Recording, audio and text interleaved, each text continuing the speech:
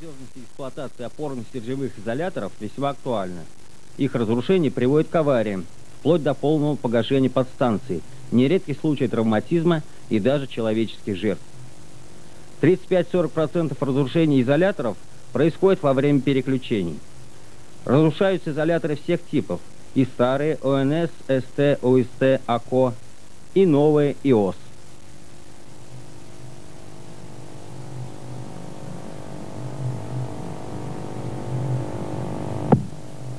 1992 году в ОВНИ электроэнергетики на основе многолетних исследований разработан акустико-эмиссионный метод контроля состояния опорно-стержневых изоляторов и на его основе прибор акустико-эмиссионного контроля ПАК-3.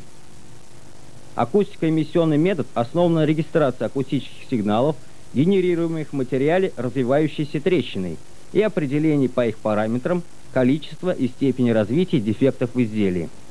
Развитие опасной трещины, которая способна привести к излому изолятора, можно обнаружить с помощью эффекта Кайзера, который заключается в том, что при двукратном механическом нагружении активность акустационной эмиссии во втором цикле практически равна нулю в доброкачественном изделии и велика, если в нем имеется растущая магистральная трещина. Контроль состояния опорных стержневых изоляторов выполняется по следующей методике. На верхних фланцах двух изоляторов полюса-разъединителя укрепляет механическое стержное устройство с динамометром.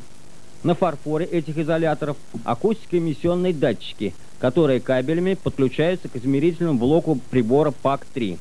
Он двухканальный, что позволяет контролировать одновременно два изолятора полюса разъединителя. Прибор улавливает сигналы акустико-эмиссионных датчиков, усиливает и обрабатывает их и отображает на цифровом табло текущее значение активности акустационной эмиссии. Заранее выбирается испытательная нагрузка. Она не должна превышать максимальную нагрузку, которую может в неблагоприятных случаях испытывать изолятор разъединителя в эксплуатации – как известно, разъединитель комплектуется такими изоляторами, минимальная разрушающая нагрузка которых в два с половиной раза больше максимальной эксплуатационной нагрузки. Таким образом, испытательная нагрузка должна быть равна 40% минимальной разрушающей нагрузки для данного типа изоляторов. При постоянной испытательной нагрузке прибор полуавтоматически при нажатии кнопки измеряет суммарную активность акционной эмиссии за 10 секунд и отображает ее значение на табло.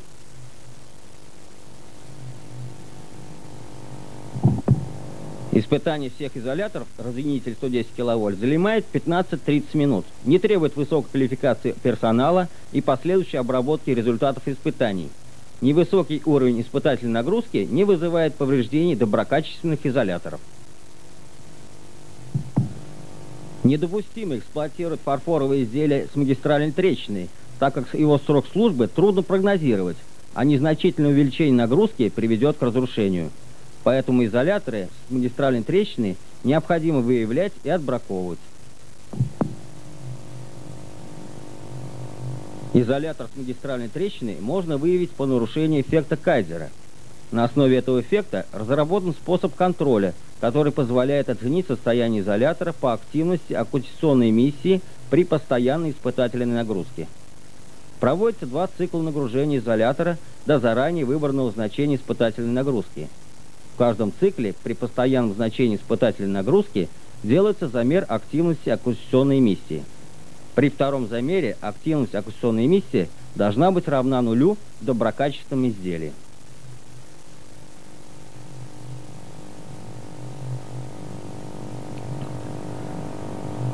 Если же в изоляторе развивается магистральная трещина, то, как правило, за время второго замера регистрируются десятки, а иногда и сотни импульсов акустационной эмиссии.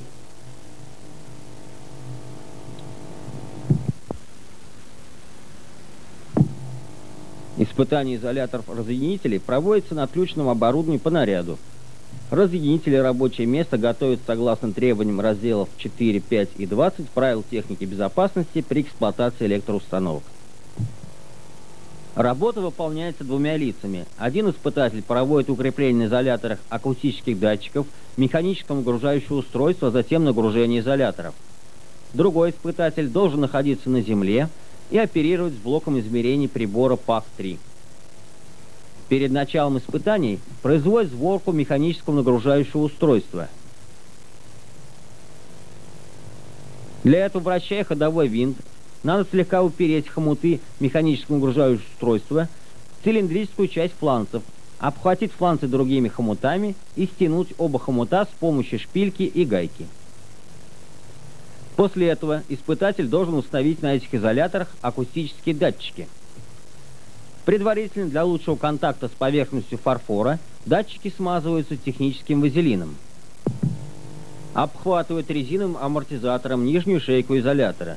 Затем оттягивают резину и вставляют датчик. Датчик должен быть плотно прижат к фарфору всей площади поверхности. Перед началом цикла нагружения нажимается кнопка «Пуск». Производится первый цикл нагружения. Вращением ходового винта механического нагружающего устройства – плавно увеличивают нагрузку на изоляторы до порогового значения.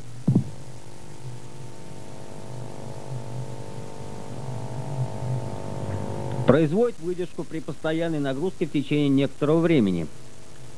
Нажимается кнопка «Замер». Через 10 секунд на табло появляется значение активности акустационной эмиссии. Количество импульсов в доброкачественном изделии не должно превышать 10. В случае появления на индикаторе нулей, второй цикл нагружения можно не проводить.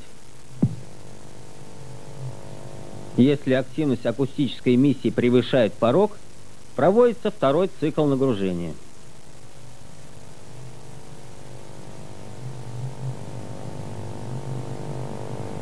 Нагрузку снижают вдвое – Производится замер активности акустической эмиссии. Во втором цикле нагружения на индикаторе могут появиться нули. Это срабатывает эффект Кайзера. Что означает, что изолятор не имеет развивающейся магистральной трещины, и он признается годным. Если во втором цикле нагружения акустической эмиссии растет скачкообразно, это означает, что в фарфоре наблюдается рост магистральной трещины, дефектный изолятор бракуется и в короткие сроки заменяется. До замены все операции с таким разъединителем запрещаются.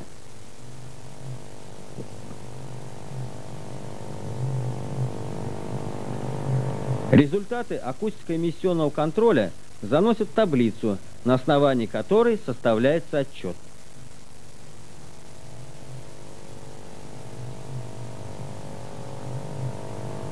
Материал контроля хранятся до проведения следующих испытаний – Таковы особенности методики акустико-эмиссионного контроля опорно-стержневых изоляторов.